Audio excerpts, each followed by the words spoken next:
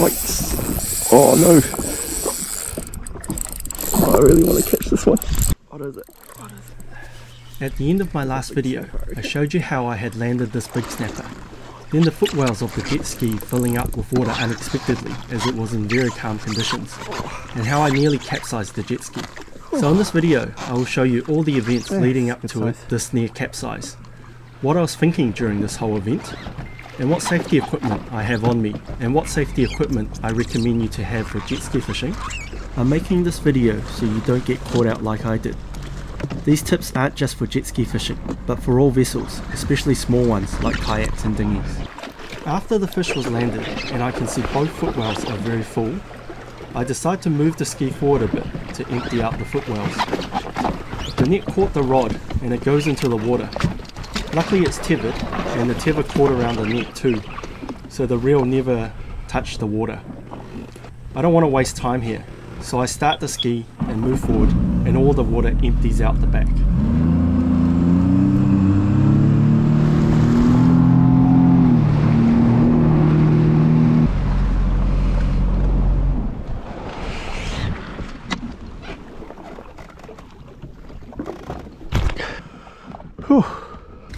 At this point, I still want to take some photos while holding the fish, so I get the lip grippers out to secure the fish.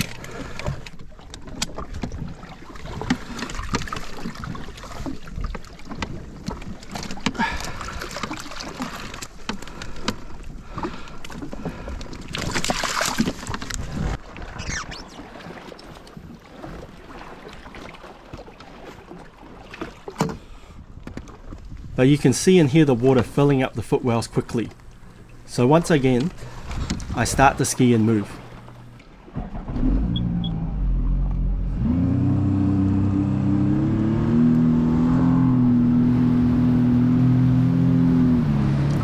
I think I know something is wrong at this stage, but not sure what. So you can see me looking around the back of the ski, and that's when I notice the back left hatch is slightly open and letting water in.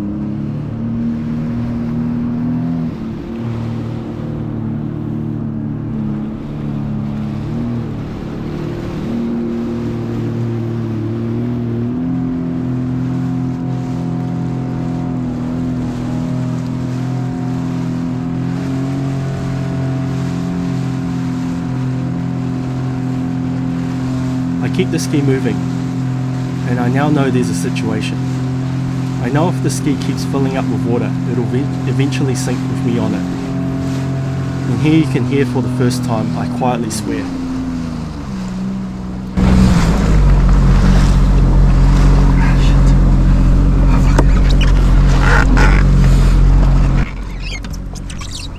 In the rush of things, I unhook the fish to put it into the chili bin.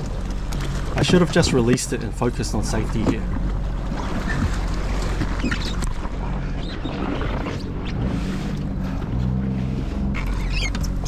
With the wasted time of putting the fish in the chili bin, and leaning to the back left to see if I could close the hatch, this brought me very close to sinking the back of the jet ski.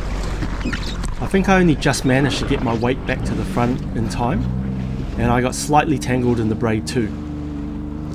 It was lucky the ski was on the whole time here, due to me having an extended jet ski key uh, on the extended kill cord.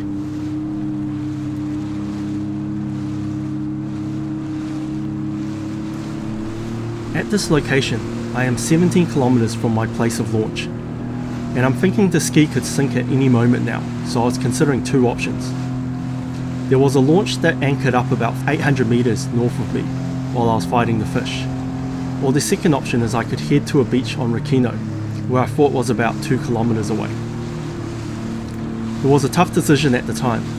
Go somewhere closer like the launch, but then I thought there wasn't much I could do to save the ski from sinking at the launch, so I decided to head to Rakino.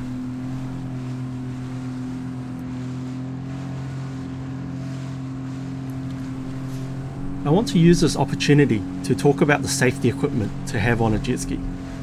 First priority is always have your life jacket on. And I always do this, whether it's jet ski or boat. Things can happen so quickly, and there really isn't enough time to put a life jacket on once you're in the water already. The second thing to have is two forms of waterproof communication. I have my mobile phone in a floating waterproof case and a personal locator beacon, or PLB for short. A marine radio is also recommended here, and if you have space, have a flare close by. I also have a knife sheathed in my life jacket in case I need to cut a rope in an emergency. I highly recommend you to have the above on you at all times when out jet ski fishing. As I was moving along, I wanted to double check if the beach I had in mind was on the side of the island I was heading towards. I didn't want to end up on a cliff face side. So using my free left hand, I got out my phone and started the Navionics map.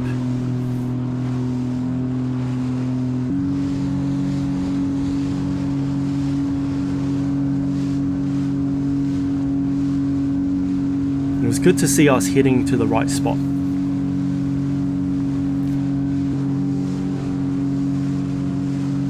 While I was still occupied looking at the map, the ski begins to pick up speed and I'm gradually planing along at 35 kilometers an hour. This is a great relief for me as it means I can get to the island quicker. The reason the ski started planing is because the weight of the water that was all at the back has spread to the middle of the ski. And with the ski more balanced, it was able to lift out a bit and plane along the surface.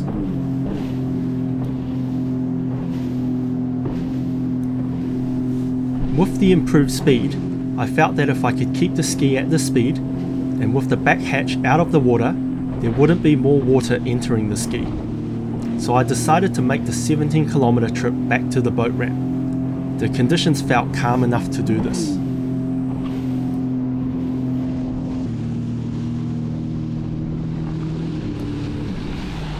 During the trip back, I did slow down once to pick up my sunglasses, which were about to fall off the back of the ski.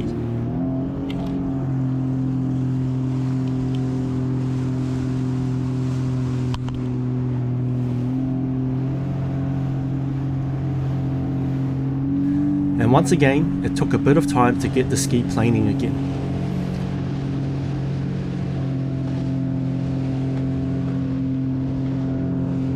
One of my worries at this point was whether I had enough fuel to get back. I kept my eye on the fuel gauge for those last 20 minutes. With the ski carrying extra weight of the water, it does consume more fuel, so a good lesson here is to always have a full tank of gas before heading out fishing. You never know when you might need all of it. During the bumpy ride, because the ski was porpoising quite a lot, the GoPro mount detached. Luckily it was tethered onto the ski, and basically I always have my rods and my GoPros and expensive things uh, connected to the ski via tether. After the 20 minutes, I safely arrived back to the boat ramp. Here I am able to finally close the open hatch.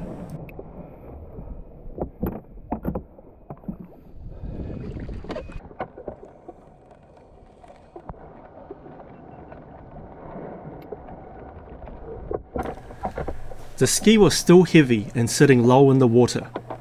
I secure it to the boat ramp and I'm thinking whether the ski will sink at the ramp or not while I went to get the car.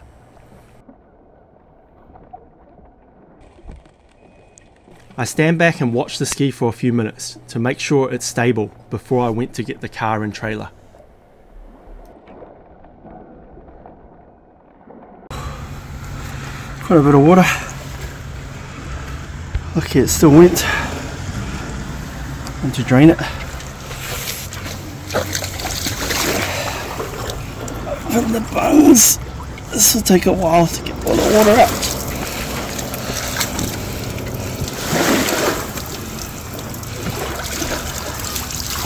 The water is really hot. Yeah, like scalding. really hot.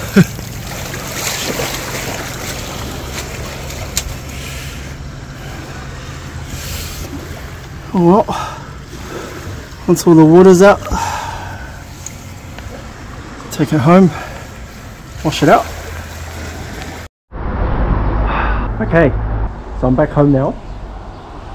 Things got incredibly hectic after landing that snapper. The ski is taking on water. Uh, I know, I know basically what happened. I'll show you in a moment. But um, yeah, basically the, the ski was filling up with water. Uh, what I noticed, the footwells just keep filling up. So I noticed the back was really heavy. So I kind of picked up something was wrong pretty quickly and stopped mucking around with the fish since I wanted to take photos of it. So yeah, I, uh, at that moment I was just thinking if I go to the closest boat to ask for help or uh, drive to the closest island which was Rakino and I was basically just driving to the closest island.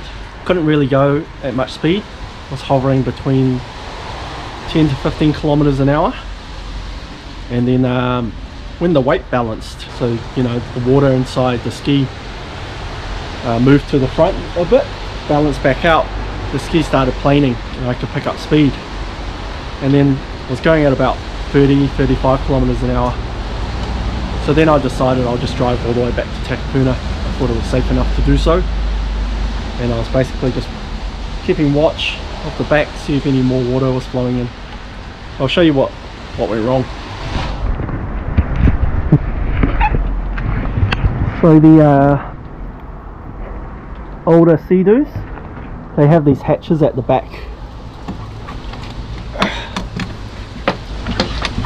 And um, so on the right side uh, is the access to the battery the left side doesn't really access too much but I think pretty much what happened was I forgot to lock it when I left the house this morning. And then um, after I caught that fish must have been the weight of this pushing down it popped it open like that. So I basically just stayed open like that and uh, started filling up water. You can see how much water came in. I've basically driven home with the bungs open and it's still dripping water this water's really hot. So yeah I couldn't really turn around to close it back up. I just left it open and then just drove home. Here's the inside of the ski. It's just a little bit of water left. It's all draining out. And then uh, yeah I'll give it a real good rinse. And it should be okay. So yeah I'm all good cheers for watching and uh, if you're new to the channel click the subscribe button and uh, you can keep watching all my fishing adventures with uh, jigging, slow pitch jigging, soft baiting, super light jigging and all of that off my uh, jet ski or the boat. Thanks for watching guys.